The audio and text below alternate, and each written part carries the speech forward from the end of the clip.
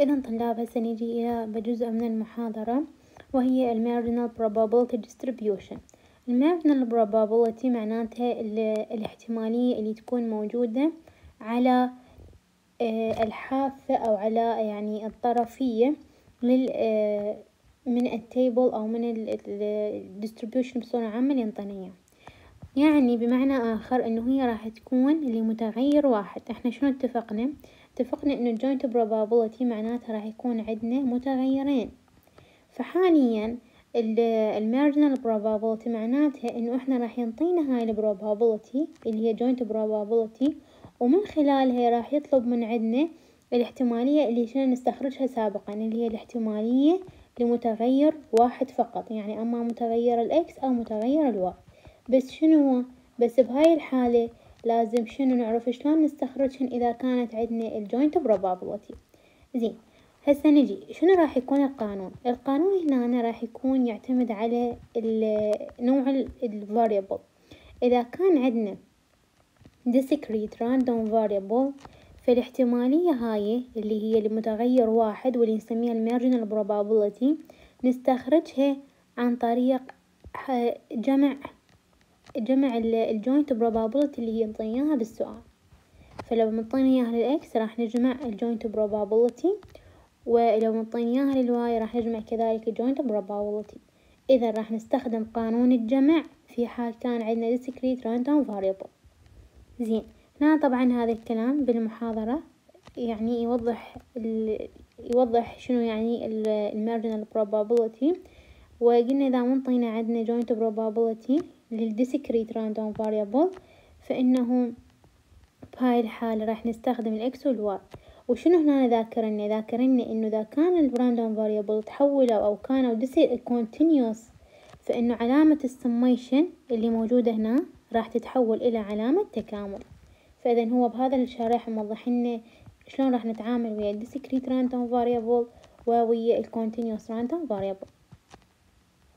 في ال F of هاي هي معناتها احتمالية ال X بوحدها وال F of ال Y معناتها احتمالية ال Y وحدها، إذا راح هذا الشي نستخدمه في حال عندنا joint probability، لو نجي ناخذ example يقول show that the column and row of the table give the marginal marginal distribution of x alone and y alone. إذا هسه شو منطينا منطينا table. إحنا مباشرة ما دام منطينا table نعرف إنه جاي نتعامل مع discrete random variable، لأن هو يتحول يعني نعبر عن ال probability مالته ب شنو؟ هو؟ ب table جدول، شنو منطيني؟ منطيني ال joint probability distribution، واضح؟ joint probability distribution. هذا اللي هو ال Y وهذا يمثل لنا ال X، زين. هذا القيم هو المنطينا إياها. وهاي القيم إحنا اللي راح نطلعها، بس خلون يعني هذا الجدول هو بالحقيقة مين ينطينا إياه؟ ينطينا الآتي. ينطينا راح ينطينا بهذا الشكل. ها هي اللي ينطينا لنا مثل F of ال X Y يعني هنا راح ينطينا ال X يعني قيم متغيرة إلى X يعني مثلا هذا هو كله X هاي فلنفرض ينطينا قيم X هنا.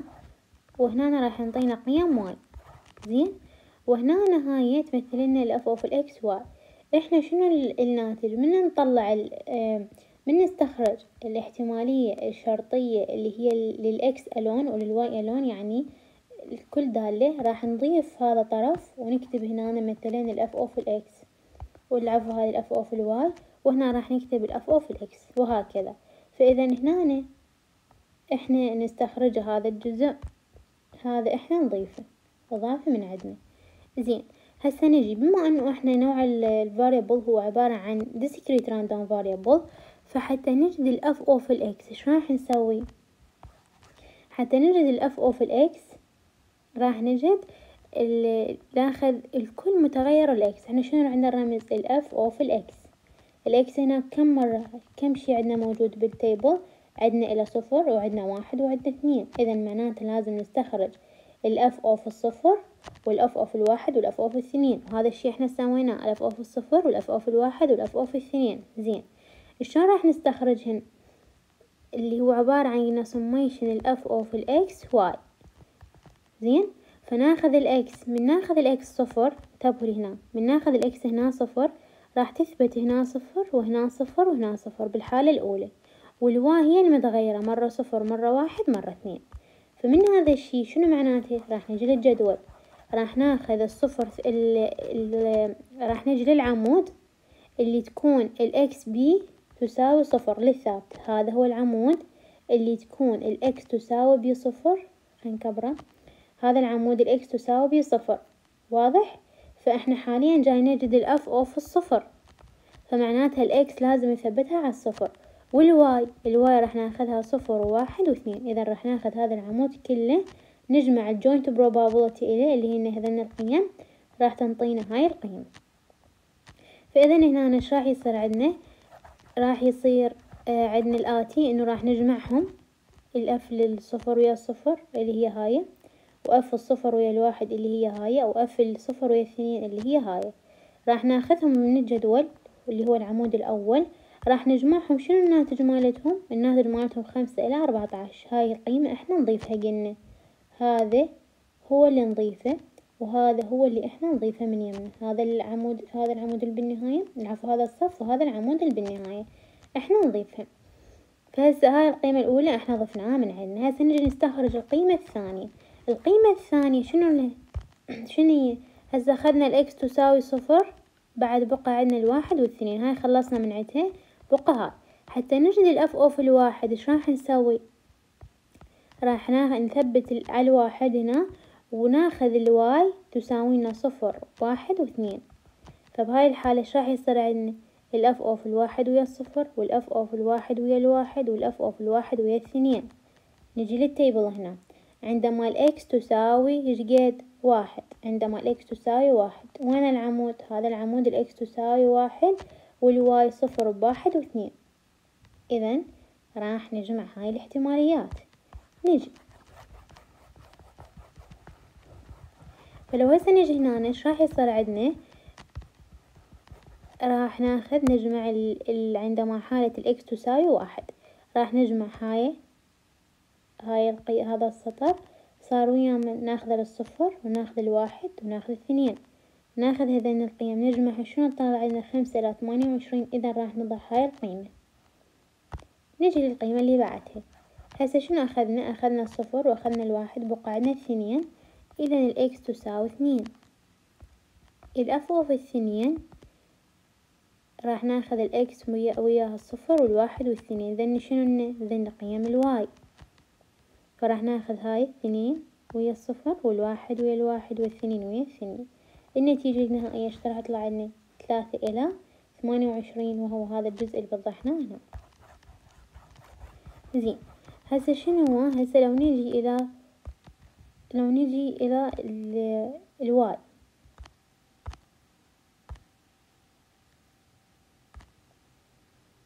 هسه شنو قلنا؟ قلنا هاي الشغلة هي اللي هذن اللي أخذناهن لل X نفس العملية شوفوا هاي قيمة هي ال X يعني كأنما إحنا طلعنا إذا تلاحظون ال table القديم. نفس العملية اللي سويناها راح نسويها لل Y. يعني راح ناخذ ال Y صفر وناخذ هذا الصف بأكمله راح نجمعه. ينطينا هاي القيمة. ال Y تساوي واحد راح نجمع هذا الصف بأكمله. وال Y تساوي اثنين راح نجمع هذا الصف بأكمله. زين؟ فيعني هسه مثلا إذا أردنا نجد ال F of الواحد اللي هو شنو هاي؟ لل Y. إذا ال Y تساوي واحد فمعناتها ال X إيش راح ناخذها صفر بواحد واثنين. إذا نجي هذا الصف كله راح ناخذه. نجمع هاي القيمة وهاي وهاي. شي يجينا؟ يجينا هاي هذا الرقم. زين؟ طبعا بالنسبة للترتيب النهائي راح يكون بهاي الطريقة. يعني نخلي الصفر مرة والواحد والاثنين وكل وحدة استخرجناها نرتبها بهذا الشكل. فبهاي الحالة كأنما إحنا جاي نسوي جاي نستخرج ال F of ال X بوحدها وال F of ال Y بوحدها هسه لو نجي ناخذ مثال آخر هسه هذا اتفقنا هذا الحكي عليه من على ال discrete random variable. إذا منطينا continuous إيش راح نسوي؟ أول شي ال continuous ينطينا ال distribution function وال density function مالتها راح تكون بهاي بهاي بهذا الشكل مو table وينطينا قيم معينة تكون موجودة بيها ال X وتكون موجودة بيها ال Y وهذين كلش مهمات ننتبه لهن. زين. شنو هسه نريد منه؟ نريد نستخرج ال F of ال X بوحدها وال F of ال Y. إيش راح يصير عندنا القانون؟ قلنا القانون نفسه ولكن راح نخلي شنو؟ مكانه تكامل. من نجي نضع تكامل ال F of ال X Y dy. زين ننتبه إلى شغلة. إحنا بهاي الحالة إيش جاي نطلع نطلع ال F of ال X؟ معناته شنو المتغير اللي عندنا؟ اللي عندنا متغير هو ال dy. زين؟ راح ناخذ الدالة هنا ننزلها مثل ما هي وناخذ ال dy واضح؟ لأن إحنا قلنا مثلا قيمة X من تكون ثابتة على قيمة معينة؟ إيش راح تكون؟ ال X مثلا من آخذها صفر؟ آخذها لثلاث احتمالات يعني أخذها لل Y تساوي صفر وال Y تساوي واحد وال Y تساوي اثنين. زين؟ فمعناته إنه المتغير عندنا هو ال Y فهنا راح ناخذها لل dy من أجي يقول آخذها لل dy معناته شنو بهاي الحالة لازم آخذ حدود ال Y هنا فمال آخذ ال dy اثنين من الصفر للواحد. ننزل الفترة اللي ال joint probability للفترة الموجود بها التكامل.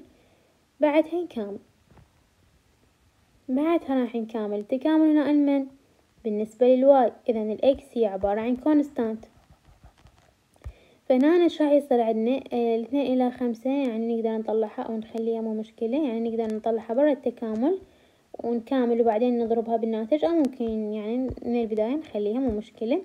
هسه تكامل اثنين آه بالنسبة لل X شنو تكاملها؟ هي constant فتكاملها X في ال Y أما ال Y تكاملها Y تربيع على اثنين. وندخل اثنين إلى خمسة بعدها ناخذ من ال Y يساوي واحد وال Y تساوي صفر. هذا الحكي المن هذا الحكي للفترة بين ال X تساوي صفر وبين يساوي واحد. يعني إذا طلب من عندنا نجد ال F of ال X الغير هاي الفترة فهي تساوي لنا صفر. زين. هسه نجي لمن نجي إلى الجزء اللي هو ال F of ال Y. F of ال Y هنا راح تكون كذلك التكامل ولكن بالنسبة لمن لل dx زين. من نجي نكامل بالنسبة لل dx لازم ناخذ حدود ال X فهي من الصفر للواحد ونكامل هنا. المتغير مالتنا حاليا X وال Y هو ثابت. بعدين التكامل وتعويض القيم راح يكون عندنا هذا الناتج. هذا الناتج للمن إذا كانت ال Y بين الصفر وبين الواحد. يعني إذا انطاني ال Y تساوي لنا مثلا خلينا نفرض point five point four point three point six أي شي راح هاي الدالة نطبقها عليه.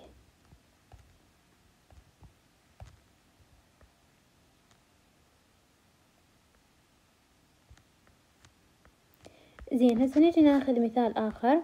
يقول لك إنه كان عندنا ف coin is tossed two times نحسب joint probability mass function of discrete random variable ومحددين ال X شنو وال Y شنو. هذا السؤال طلاب مشينا بيه من البداية أول شي استخرجنا هذا ال table بعدها تعلمنا شلون نستخرج ال F of ال X Y بعدها هسه جاي يطلب من عندنا آه شلون نستخرج شنو شلون نستخرج اللي هو ال marginal probability. فيعني بدينا بيه خطوة شلون نستخرج ال table وشلون راح نستخرج ال marginal probability بعدها راح ناخذه نفسه ونستخرج إلى ال conditional probability. فيعني حاولوا تلخصون أو تاخذون عنه ملاحظات. هسه منطيناها آه شنو يريد من عندنا؟ يريد عندنا ال F of ال X بوحدها وال F of ال Y بوحدها. إحنا هنا هذا ال table قلنا استخرجناه سابقا ورتبنا. شوف شلون راح نضيف ال F of ال X؟ راح نضيفها. طبعا بالمناسبة هذا هو discrete random variable. هاي بعد شي صار واضح.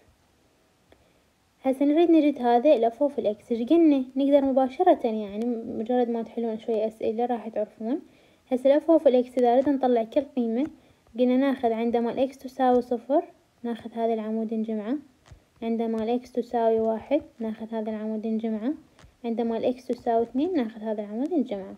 هاي كلها نرتبهم بهاي الطريقة هاي تمثل لنا ال F of ال X من نجي نريد نرسمها أو نرتبها تنتبهون للرسم من يطلب منكم الرسم أو أصلا من نطلب منك إنه تجدها لازم نجدها بهذا الشكل اللي هي الشكل يعني القديم.